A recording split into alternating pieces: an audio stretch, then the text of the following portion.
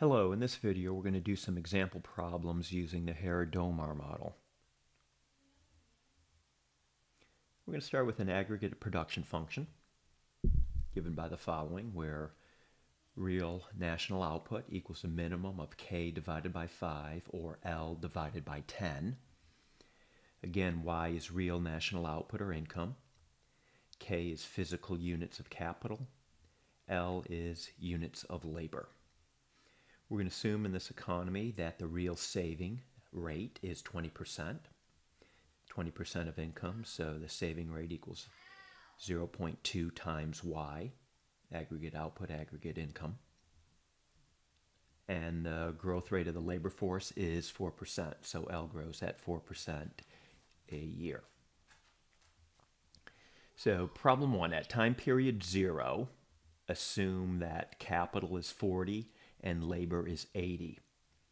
In time period one, we want to solve for the level of capital, level of labor, and level of output. So to get started, we're going to calculate the level of output at time period zero. So we're going to plug 40 and 80 into our production function. And 40 divided by 5 is 8.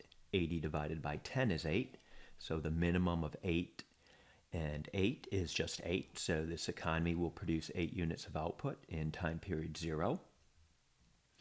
Now we're going to calculate the saving. So saving is going to be 20% of income or output, so 0.2 times 8 is 1.6. And real investment spending then will be 1.6. Investment equals saving. Moving on. The level of capital at time period 1.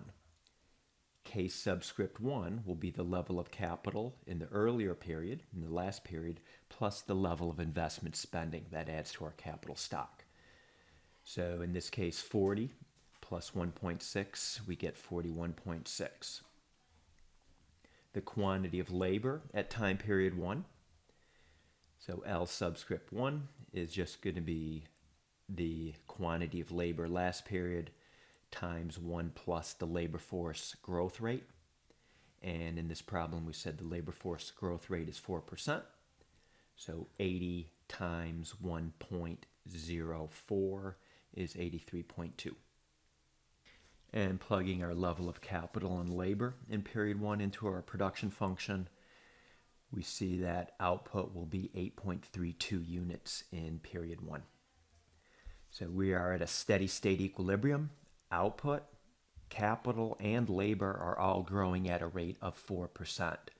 So the output went up from 8 to 8.32. That is a 4% increase. Capital went from 40 to 41.6. That is a 4% increase. And our labor force went from 80 to 83.2, another 4% increase. All right, let's do another problem. So problem two, at time period zero, we have these values for capital and labor. And same production function, same saving rate. But this time, let's assume that the labor force growth rate increases to 5% instead of it was at 4%, it's going to increase now to 5% in period one. So in time period one, solve for the level of capital and output. We also want to solve for the quantity of labor supplied and quantity of labor demanded, along with the level of unemployment. So there's going to be unemployment now. So using our values at time period zero, this economy produces eight units in time period zero. The real savings rate, as we saw before, is just going to be 0.2 times the level of output, 1.6. So our real investment spending, once again, is 1.6. The level of capital at time period one, we saw this before, it's going to be the level of capital in time period zero plus our level of investment spending, or now 41.6. As for labor, to get the quantity of labor supplied at time period one, we're going to use this formula here. So L subscript 0 is 80. The labor force growth rate is now 5%. So we'll have a quantity of labor supplied of 84 units in time period one. Plugging those values, 41.6 and 84, into our production function, output is going to be the minimum of 8.32 or 8.4, so it's going to be 8.32. And this means that we're using, we, we, we don't need to use 84 units of labor to produce 8.32 units of output. So there is an excess supply of labor. The quantity of labor demanded, the labor units required to produce 8.32 units, is going to be less than 84.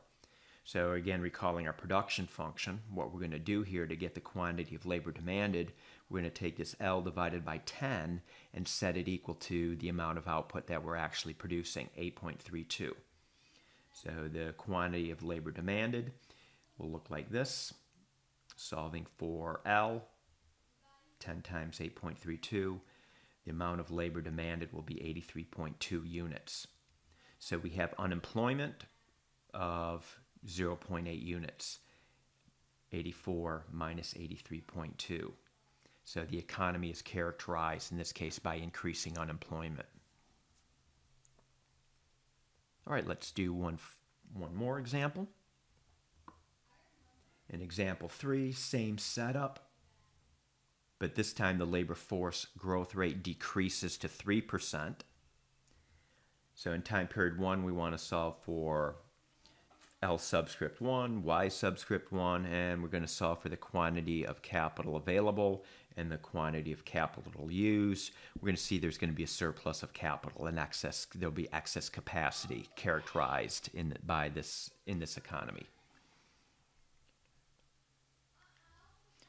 So getting output in period zero, getting saving and investment in period zero, same story as before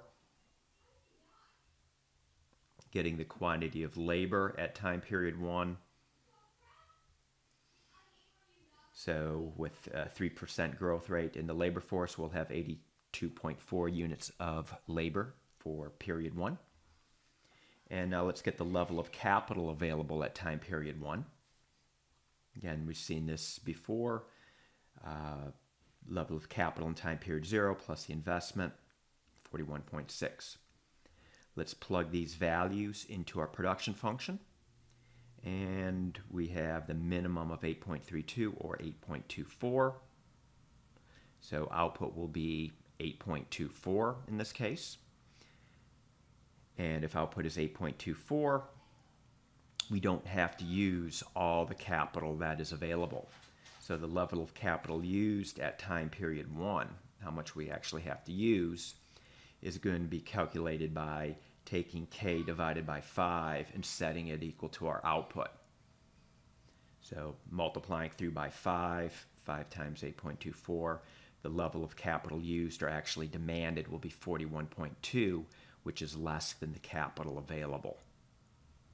So we have excess capacity here of 0.4 units of capital. All right, that's my examples. I hope you found this video helpful.